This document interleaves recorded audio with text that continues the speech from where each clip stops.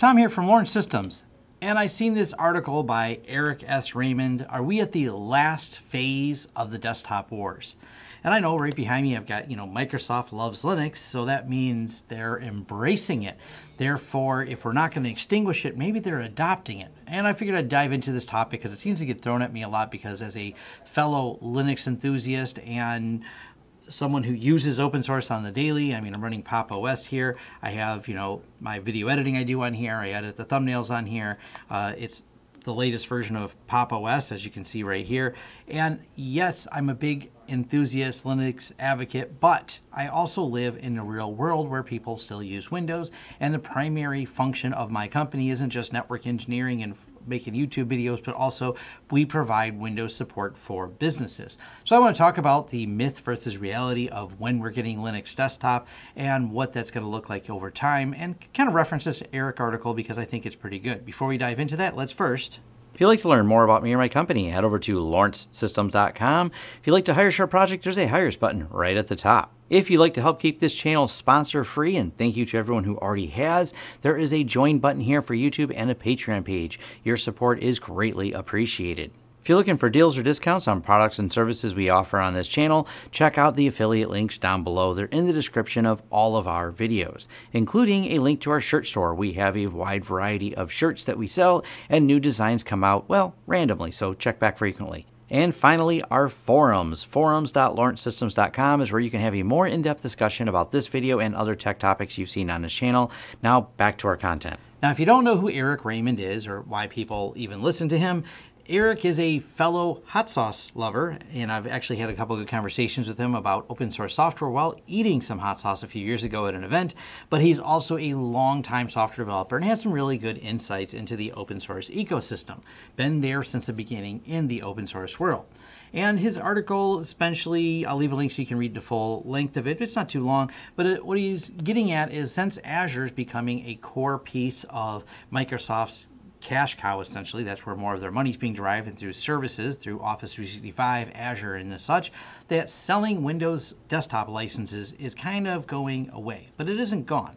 And with Windows Subsystem for Linux getting more enhanced and Microsoft doing code contributions to the kernel to make it a better experience, that at some point Windows will just become an emulation layer and Linux will be the base of everything while I think that may be some truth in that, the reality I think it's going to take a whole lot longer. And no, 2020 is not the year of the Linux desktop. The year of the Linux desktop for myself was right around 2010 when I said, I'm sick of Windows. I'm an enthusiast. I know there's probably a lot of enthusiasts watching this. I've talked about running Linux on the desktop from the enthusiast standpoint for quite a while. Many security researchers and cybersecurity people all run Linux. That's a very familiar space for them that offers a lot of tooling and for all the things that I need to do, including managing my business and my business is managing other technology for other companies, I can use Linux because so many of the things we have are web applications. That being said, the long tail of legacy means it's not likely to happen anytime soon because we still haven't gotten rid of Windows XP. There is always these old systems that there's no market pressure to move. And that's really what changes the dynamics of things. So it's not like we can say, well, Windows has got this and this levels of integration. And I think there's definitely some truth that Microsoft is, well, in some ways maybe tired of the cost center that is Windows, but they know that people use Windows. And as long as there's a demand for them to use it, Microsoft's going to keep selling the license.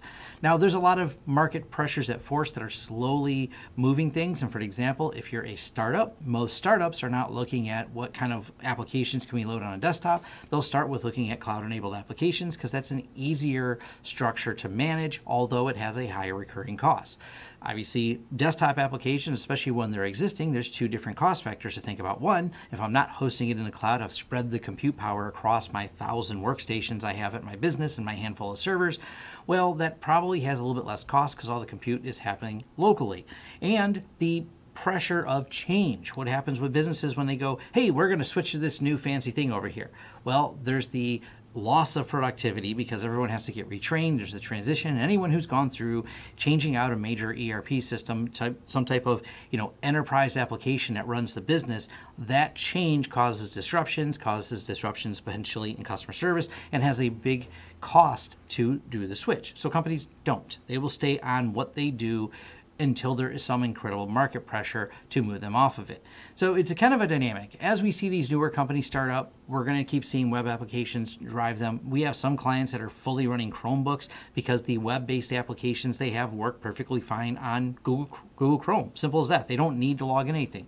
I've seen other companies, I just talked to one actually earlier today that runs on Macs and runs on iPads because the application they use, all web-based applications, so the computers are relevant. They said, hey, Mac works for us because we're kind of familiar with that environment, and we're not loading any software. Basically, they open it up, fire up the browser, and away they go. So while we'll see this with new companies, it still kind of pushes the desktop to be more irrelevant than it is a replacement going to Linux. Now, I do see, and Eric mentions this, we're going to see gamers who, once again, they would like to probably run Linux, but let's extract that a little bit further. Most people don't care about what operating system run. Gamers will choose Windows because the games they want to run run on Windows. If all those same games ran on Linux, they would be, okay, whatever, we're moving over to this the driving force is really the application market. And until that market shifts, until there's enough business pressure to do it, and there's enough cost associated with moving over, that's when this change will finally happen. Because for a company to say, let's gut and replace, like I said, there's the cost of change. The same thing with the gaming community. All the different tools they use sometimes aren't available in Linux yet. So until they fully become available, and of course the games themselves, we're going to see a slow adoption there. So while I don't think it's the year of Linux desktop, I wanted to throw this out there because a lot of people say, why don't you push as an open source enthusiast, you know, solutions like a Linux desktop like I have right here for your clients. And it's just not realistic for most of their application usage. It's not always realistic to get their printers working, although Linux printer support has gotten much better. From a day-to-day management standpoint, there's still a lot of challenges.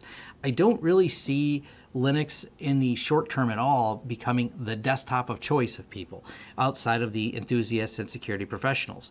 But it is a slow change that we are seeing as more applications are being cloud enabled, and that's specifically true because, well, when you look at the marketplace and what people are going to school for, they're not going to school to develop the next Windows application. They're usually looking at developing another application that's going to be worked in the cloud. Look at the tooling that works in the IT industry.